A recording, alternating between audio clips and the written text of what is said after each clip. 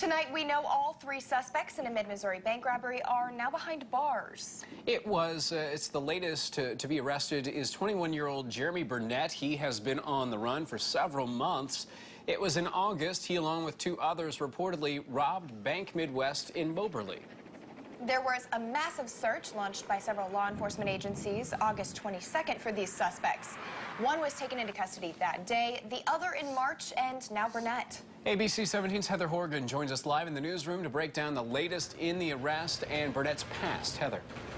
Yeah, Burnett has been on the run for eight months until Sunday morning when he was arrested by Jefferson City Police.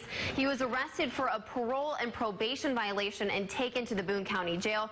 Prior to this August bank robbery, Burnett had served time in prison for three other Columbia robberies that he admitted to.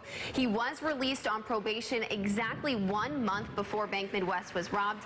Today, it wasn't until our news team noticed Burnett had a very low bond amount that we actually alerted the authorities to the fact that he's wanted in last year's bank robbery. We checked in with Moberly police today who did confirm with the FBI Burnett has been arrested.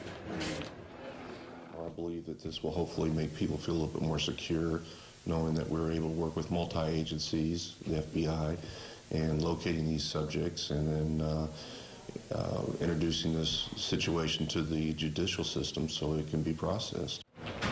Now, I did just check, and Burnett remains in the Boone County Jail tonight. Reporting live in the newsroom, Heather Horgan, ABC 17 News. All right, thank you, Heather. Clarence Williams and Daniel Rudroff are the other two that have been arrested and charged for the Moberly bank robbery back in August.